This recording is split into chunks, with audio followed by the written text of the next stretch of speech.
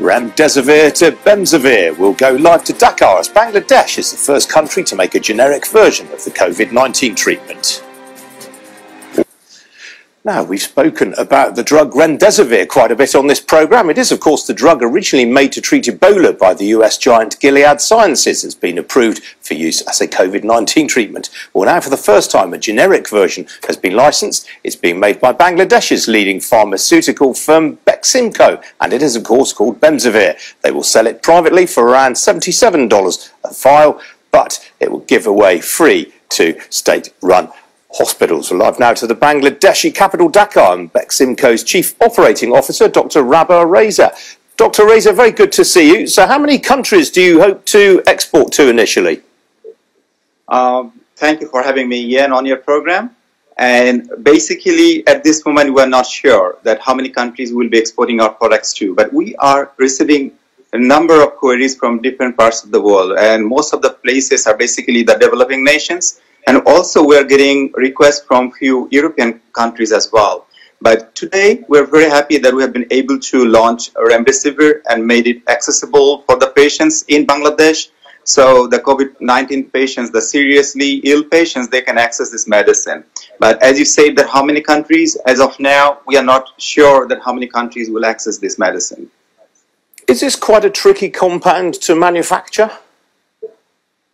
Um, you see, for any drug, you know, and to make it stable, it is it is tricky, definitely tricky. And here, basically, this product is injectable. We are giving this product um, directly into the vein, you know, basically. So we need to be sure that what we are putting in the vein is basically the right medicine we are giving, and this is for life saving. So it is tricky, and uh, the solubility of this product is uh, tricky a little bit.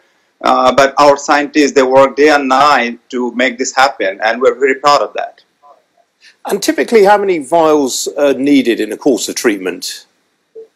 You see, uh, the trials, you know, there have been limited trials now in the US, and based on the trials, uh, they say that it could be either five day course or 10 day course. So for five day, they start with two vials on the first day and then following four days, one vial. So the total six vials needed.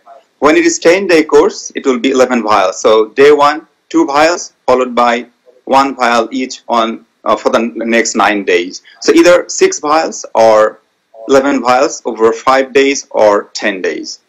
So potentially a course of treatment could be as much as $800 per patient. Uh, thing is, you see here, I think the price that you have quoted, uh, our price that uh, we, we need to take a price from our regulatory authority. So the price that we have taken is basically around $65, $65 in local currency, 5,500 taka. And uh, for the government hospitals, we are giving this free in Bangladesh. So if, you know, we need to supply this to private hospitals, then we'll have to charge this 5,500 taka per patients.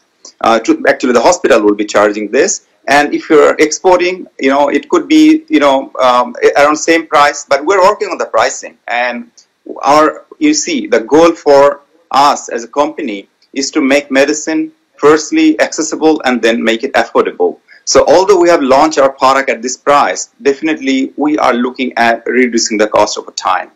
So uh, yes, you're right that at this moment per vial is $65, but you know that we are we live in a you know in a country where uh, affordability could be a problem. So that is why our management has decided that we'll be giving this medicine free of charge to all patients being treated in the government hospitals. And basically in Bangladesh, most of the patients, the COVID-19 patients, are being treated in government hospitals. So you can say that virtually this medicine is free in Bangladesh. Okay, Dr. Reza, we have to leave it there. Thanks very much for joining me. Good to see you. Thanks for having me, Ian. Thank you. Bye-bye. Now, at the beginning of the lockdown, there was a rush to stop